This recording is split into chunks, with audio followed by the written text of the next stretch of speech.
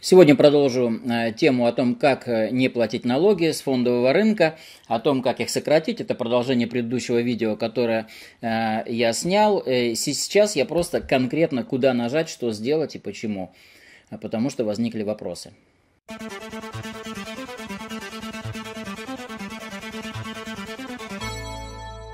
Итак, здравствуйте, друзья, здесь Демитков Юрий. В прошлом видео я рассказал о том, что э, можно сократить э, налоги э, на фондовом рынке. Это надо сделать в течение этого года. И там я дал идею в самом конце того видео о том, что можно продать убыточные активы, тем самым снизить э, налогооблагаемую базу и, соответственно, если есть, э, ну, как бы, если есть прибыль за год, то тем самым мы снизим эту прибыль, э, зафиксировав убыточные сделки, потому что, ну, я сказал, что э, вся прибыль идет по завершенным сделкам. То есть мы завершаем сделку, которая убыточна, и фиксируем убыток, а потом снова выкупаем. И э, там я показывал в своем... Эм, портфеле. Самая убыточная позиция это Газпром. Сейчас я покажу, что я сделал сегодня э, для того, чтобы это, э, ну, как бы актуализировать. Вот, посмотрите, э, у меня там было минус 4200 рублей текущее состояние э, этой позиции. Э, у меня было куплено в лонге 60 акций, то есть 6 лотов Газпрома. Что я сделал сегодня с утра? Просто взял и продал их по 207 рублей 28 копеек за штуку. И Тут же поставил заявку на покупку пониже, почему-то она очень быстро исполнилась, поэтому 207.15 я купил. То есть, смотрите, я продал здесь, купил здесь, то есть я на этом еще заработал, то есть комиссии у меня, э, в общем сказать, ну как бы я купил свои комиссии, у меня позиции, как было в портфеле 60 акций Газпрома, так и осталось, я их не собираюсь э, уменьшать долю в Газпроме, э, не собирался, и, соответственно, вот у меня теперь э, в Газпроме точно такая же доля, сто, э, ровно столько же, вот 3,27% от всего а, портфеля у меня в «Газпроме» находится, и текущее состояние у меня минус 142 рубля вместо 4200. Вот и все. А, я сократил таким образом налогооблагаемую базу, но теперь у меня «Газпром» уже э, куплен по 207 15, понимаете?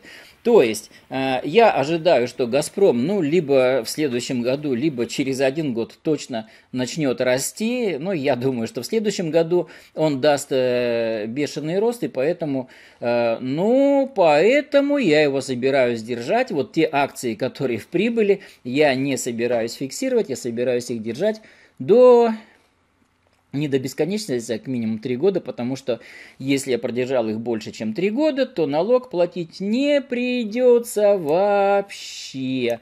Вот. А давайте сейчас изменим масштаб Газпрома и посмотрим, а, что ожидается, что можно ожидать. Вот, посмотрите.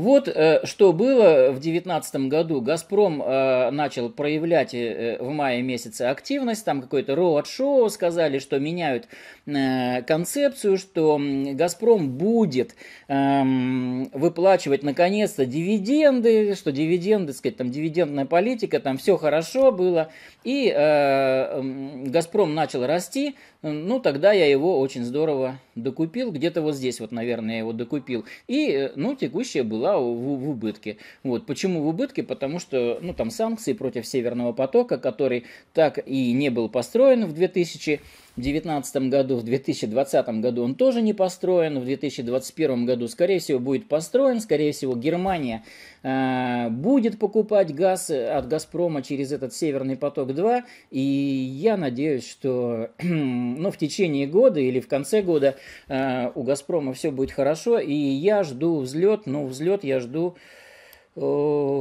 хороший, то есть, ну, он явно оценен ниже, чем он стоит, ну, по каким-то оценкам он там 500 рублей должен стоить, поэтому я его решил оставить. Вот таким образом, сейчас я не заплачу налоги, то есть я сократил, но а потом я его буду держать э, до бесконечности.